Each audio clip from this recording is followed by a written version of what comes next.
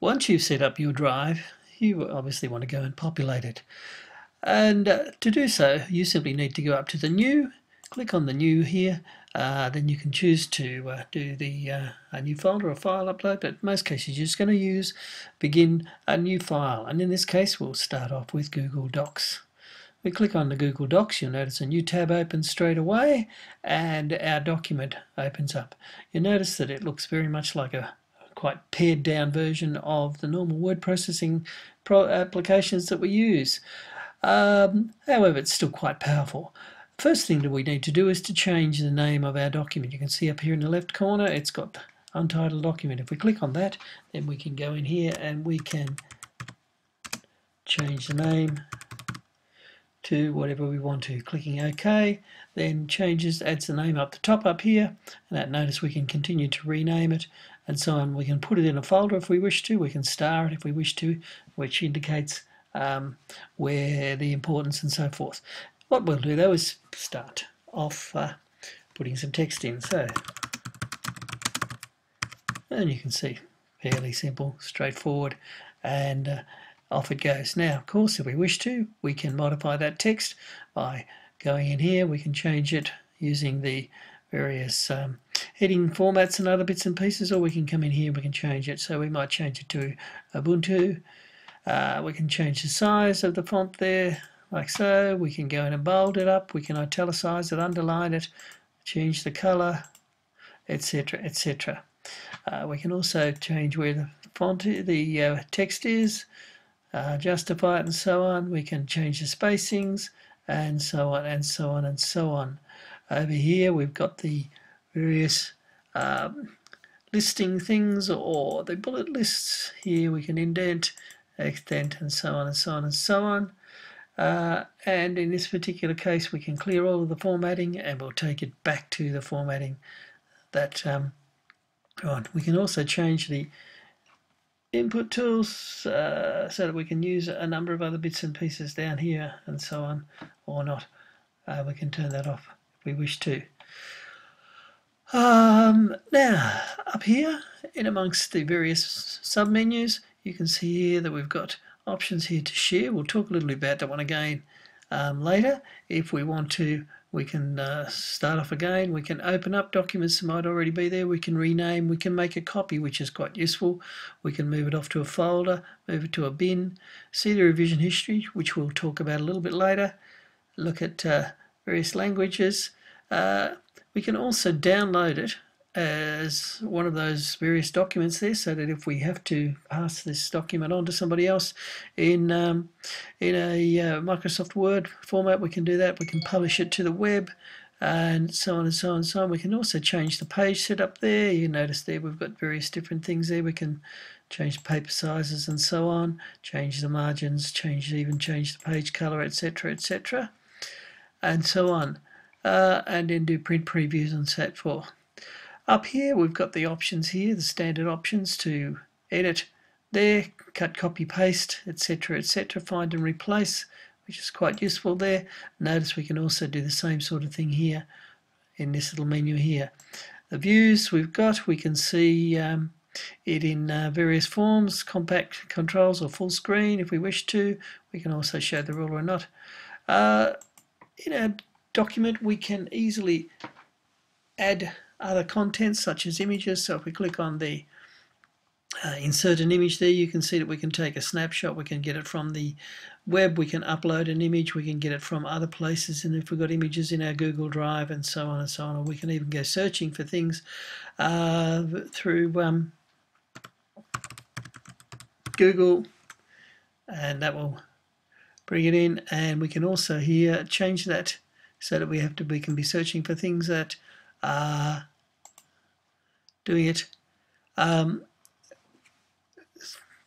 sorry, we can search for images that have been uh, labeled for reuse. We can go in here also and change so that if we want to be looking for clip art and so on, so we can clip on that one there, select that, and that will put the image in our document there, uh, just like so. Uh, notice we can also add links uh, add drawings, add tables, Uh, we can do that in another format as well too. Uh, down here we can put page numbers in, special characters, put a page break in, put headers, tables of contents and so forth. Over here is another space where we can add formatting. In uh, the next menu here we've got the options here to uh, do spelling. The interesting one is research here. If we click on research over here, then we can, it opens up a pane on the left here.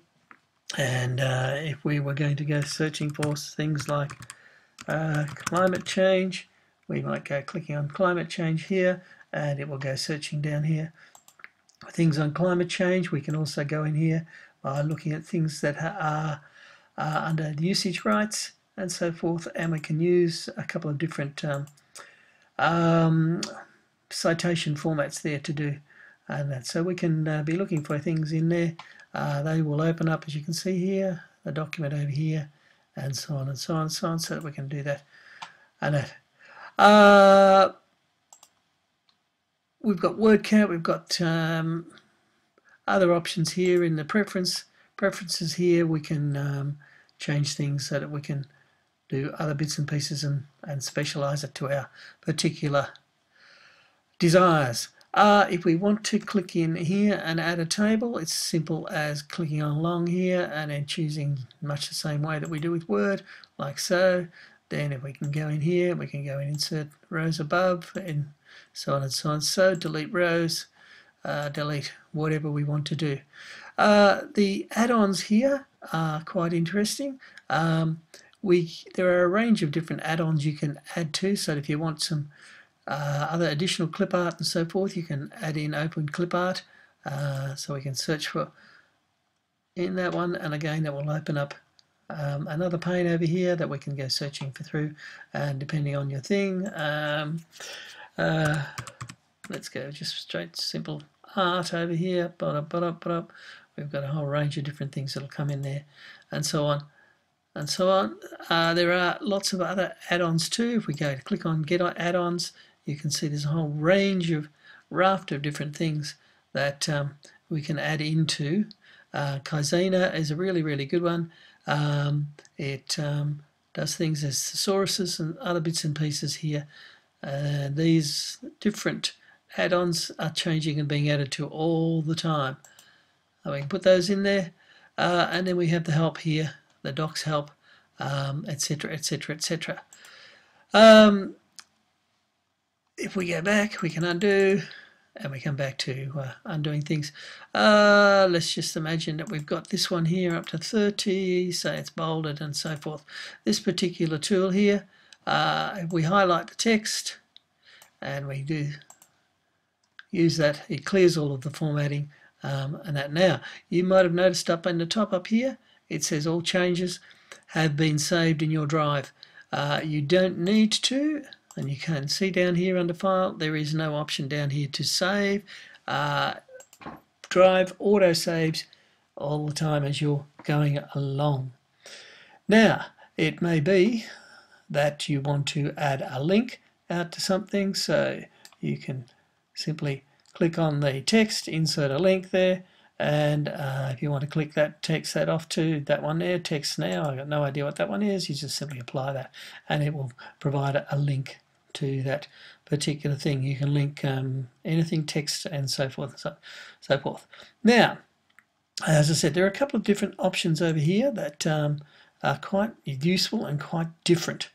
Uh, if you want to make a copy of this particular document, you just simply click on there one there, and it'll it'll give that. You can give it a different name, and it will keep all of the formatting of that particular document. And that, so it's quite useful to uh, if you wanted to share, create something, and then just use that same format over and over again. The other one that's in here that's really really interesting is this revision history. And if I click on see revision history, you'll see over here that it shows all of the bits and pieces uh, that have happened. Now, not terribly much has happened there, but if I click on down the bottom here, show more detailed revisions, you'll see that here, as I click through these, you can see that we can go back through the document and see what's happened in that particular document. Now, there's also another add-in that I haven't installed on this particular version that will actually play back through those revision histories. And this is particularly powerful because you can look through it and see what's happening with particular children as they, uh, particular users as they work through that. Notice that if we need to, uh, we can restore to that version and that will take that back to that particular version. Now the other thing, and I'll just go back here and undo all of that, and go to see my revision history again, come back here, come back to this one here, and we will restore to this particular version there. Uh, the other thing that you can do too that's really quite interesting is you can add comments and uh, to do that you simply highlight text there, you come over here um, and add a comment. Simply click on the comment button there like such uh, and that adds a comment directly within the text here and so forth. If you uh, wish to, anybody can, they can click on this and they can reply and do this and so that you get this this um, comment this discussion happening around the particular document. If the comments, if the uh, thing's been um, fixed up, you just click on resolve and it goes away. To bring it back again, you simply click on the comments up here. Now the other major difference uh, between this and other um, documents and things is the fact that you can share. At the moment this document is set to private, only I can access it and use it. If I click on this one here, it gives me the options to add some people's names and let them be able to do certain things to the document. Or if I click down here with advanced, what happens is it brings up, there's a link up here. I can share the link out via various different things. I can invite people if I have their uh, email addresses and so forth and allow them to do various things, or I can simply go through and um, choose it to be uh, either public on the web or anyone with the link being able to do something. If I click on that one there, then I can allow them to do various things to that, save that one there, and that gives the uh, option here. Now you can see anyone with the link has comment and I can change it at any particular time so I can allow those things to happen and then turn them off if I wish to. Once I've done that, I click on this. Uh, sorry, I don't do that one there. That's done. That's done. And uh, all happy. Uh, if we go back to our drive now, you'll see down here in my drive, there's my test document there. If I close that off there like such, and I click on this one here, clicking on it again, opens it up. There's my document there. Tells me it was last edited two minutes ago and so on and so on and so on. So there we are, very quick overview of most of the things that you can do with Google Docs.